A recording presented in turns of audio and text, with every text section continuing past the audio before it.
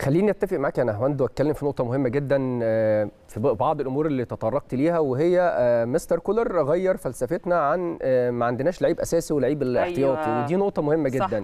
مستر كولر آه، غير الفكر ده تشوف اللعيب وال rotation والتدوير اللي بيعمله مستر كولر مع اللاعبين ده مدي انطباع إن اللعيب اللي بيغيب بينزل لعيب مكانه. فمستر كولر بيجيد عملية التحضير النفسي وتهيئة اللاعبين. وبالمناسبة يا نهاوند انت ذكرت نقطة مهمة جدا إن الإعداد النفسي وقت الهزيمة. خليني أقول لك على على نقطة فارقة في مشوار النادي الأهلي الموسم الماضي.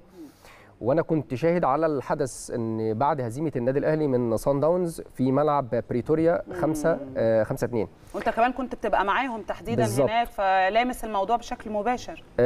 مستر كولر كان مع الدكتور خالد الجوادي والمترجم مستر كولر. فمستر كولر شاف الح- الحزن والانكسار شوية عند مستر عند دكتور خالد الجوادي. فمستر كولر قال له ما ينفعش انت تكون بالاستسلام ده انت مش هتقدر بالحالة دي توصل اللي أنا عايز أقوله لل- للاعبين لازم تقوم ولازم تقف لأن بدايه الخطوة للنجاح هتكون من من المشهد ده. وكلامه مع اللاعبين أعتقد كانت نقطة فارقة في مشوار النادي الأهلي واعتبرها من المحطات الصعبة جدا. صح. وإحنا كمان يا نهاوند بنتكلم على الأمر الإيجابي هو حالة الانسجام اللي بقت موجودة بشكل كبير ودي بدايتها هنقول من معسكر الإعداد اللي كان في النمسا. اللاعبين الجدد. إمام عاشور اللي دخل في فورمة المباريات ويعني بسرعة وخليني أتكلم إنه يعني كهربا ليه دور كبير جدا يا نهاوند في الأمر ده. وانت بتتكلمي على الصورة دي ثنائية إحنا شفناها كتير جدا في معسكر الاعداد في النمسا. كهربا مع إمام عاشور. علاقتهم قوية فعلا. قوية قوية جدا. آه، وكهربا بي- بي- بيتعامل كواحد من كباتن النادي الأهلي بالإضافة طبعا للكابتن محمد الشناوي. كمان الحالة مع المغربي رضا سليم والحالة الفنية والبدنية اللي ظهر عليها في أول مباراة أمام المصري. وأنا برضو عايز أطمن الجماهير يا نهاوند كان رضا سليم طبعا غاب عن المباراة الأولى لظروف الإيقاف في المباراة الثانية كان عنده كدمة.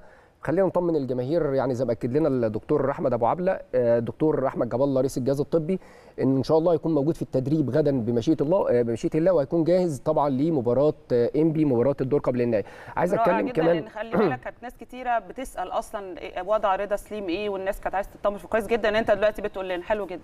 عايز أتكلم كمان عن حسين الشحات. يعني حسين الشحات واحد من اللعيبة المهمة جدا والمؤثرة في النادي الأهلي وتألق محمد مجدي قفشه اللي عمل واحدة من أجمل مبارياته أمام سان جورج يعني وسجل بدل الهدف هدفين.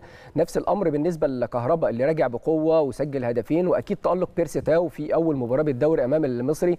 يعني أقدر أقول إن القوام الأساسي الفريق ال- ال- النادي الأهلي من أول محمد الشناوي مرورا بعبد المنعم رامي ربيعة وطبعا يا- ياسر إبراهيم وعلي معلول هاني مروان عطية ديانج أحمد نبيل كوكا كريم الدبيس باقي لاعبي خط ال- الأمامي في فورمة ممتازة.